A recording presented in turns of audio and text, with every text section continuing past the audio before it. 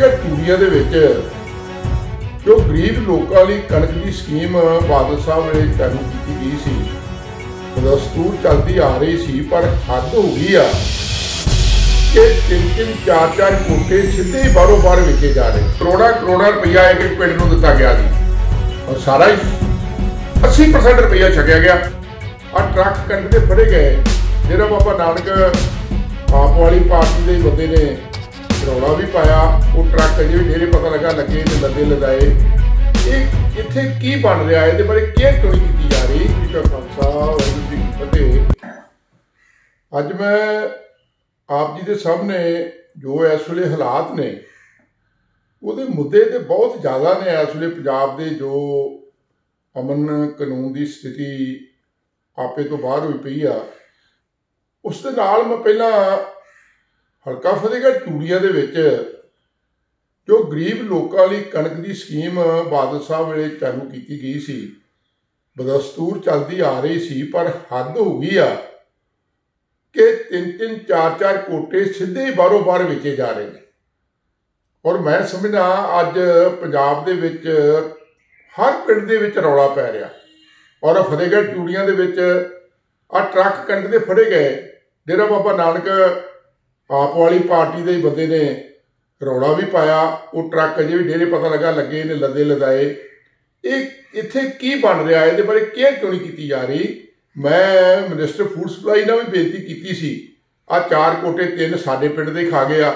ਲੋਕਾਂ ਨੂੰ ਹੱਥ ਨਾਲ ਲਿਖ ਕੇ ਪਰਚੀ ਦਿੰਦੇ ਆ, ਮਸ਼ੀਨਾਂ ਕੱਢ ਕੇ ਪਰਚੀ ਆਪਣੇ ਕੋਲ ਰੱਖ ਲੈਂਦੇ ਆ। ਲੋਕਾਂ ਨੂੰ ਕਹਿੰਦੇ ਤੁਹਾਡੇ ਕਾਰਡ ਕੱਟੇ ਗਏ ਆ।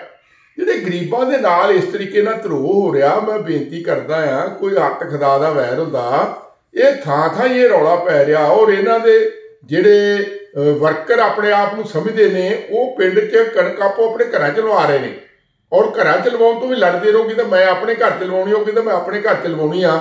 ਇਸ ਤਰ੍ਹਾਂ ਦਾ ਮੰਦਾ ਹਾਲ ਕਦੀ ਨਹੀਂ ਵੇਖਿਆ ਕਿ ਗਰੀਬ ਜਨਤਾ ਦੀ ਜਿਹੜੀ ਕਣਕ ਆ ਜਿਹੜੀ ਉਹਨਾਂ ਦੀ ਮਦਦ ਵਾਸਤੇ ਸਕੀਮ ਬਣੀ ਆ, ਉਹ ਇਹ ਲੋਕ ਲੁੱਟ ਕੇ ਖਾ ਰਹੇ ਨੇ। ਔਰ ਜਿੱਥੇ ਤੁਹਾਡੇ ਤੁਸੀਂ ਆਪਣੇ ਬੰਦਿਆਂ ਵੱਲ ਝਾਤੀ ਮਾਰ ਕੇ ਵੇਖੋ ਕਿ ਉਹਨਾਂ ਦਾ ਕੀ ਹਾਲ ਆ। ਉਹ ਕਿਹੜੀ ਪੋਜੀਸ਼ਨ 'ਚ ਸੀ ਤੇ ਹੁਣ ਕਿਹੜੀ ਪੋਜੀਸ਼ਨ 'ਚ ਫਿਰ ਰਹੇ ਨੇ।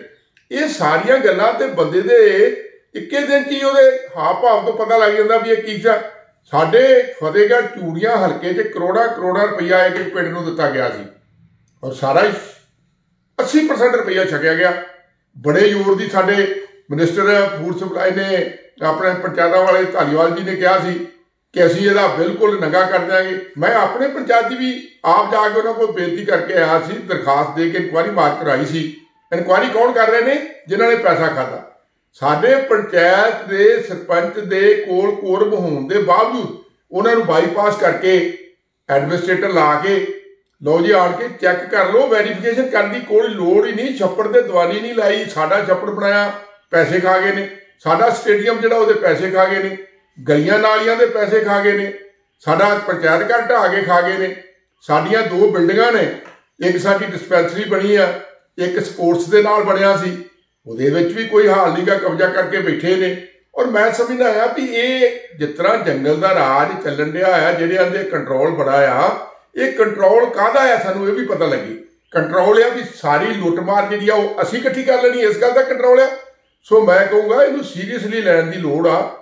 ਤੋਂ ਮੈਂ ਪੂਰੇ ਜ਼ੋਰ ਦੀ ਇਹ ਬੇਨਤੀ ਕਰਦਾ ਕਿ ਜਿਹੜੀ ਕਰਪਸ਼ਨ ਹੋਈ ਆ, ਬੜਾ ਰੌਲਾ ਪੈਂਦਾ ਸੀ।